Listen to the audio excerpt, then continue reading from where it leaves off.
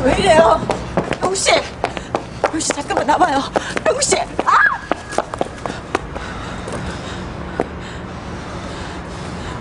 병국 씨, 우리 소라 괜찮을 거야. 괜찮아. 나 믿지? 소라 혈액형 RH-B형이야 방송국에도 연락했잖아.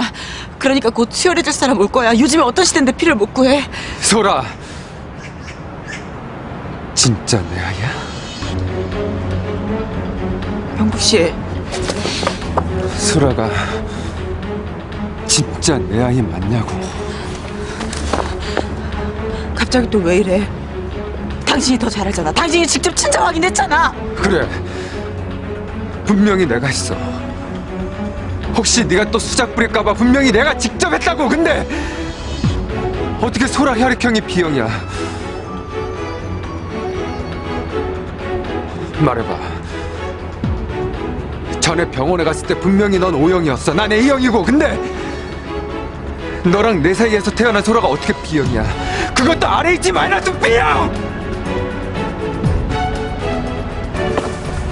병국 씨, 믿어줘. 이번만큼은 널 믿으려고 했어. 백연이가 날 찾아와서 소라가 내 딸이 아니라고 해도 난 네 말 믿으려고 했어. 아무리 그게 이화영 너라고 해도 자기 친자식을 가지고 장난칠 거라고 꿈에도 생각 못했으니까. 그런데 아니야. 아, 뭔가 잘못된 거야. 내 혈액형이 틀렸을 수도 있잖아. 당신이 직접 가서 친정 확인 검사했잖아. 근데 어떻게 소라가 당신 딸이 아니야? 소라 당신 딸이야! 아니야. 제발 나 좀 믿어줘요, 제발! 못 믿어. 안 믿어. 너란 여자 정말 끔찍해. 어떻게 네 자식을 가지고 장난을 쳐?